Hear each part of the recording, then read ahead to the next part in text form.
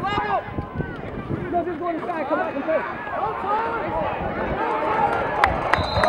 the Eagles, number two, Tyree Randolph on the carry.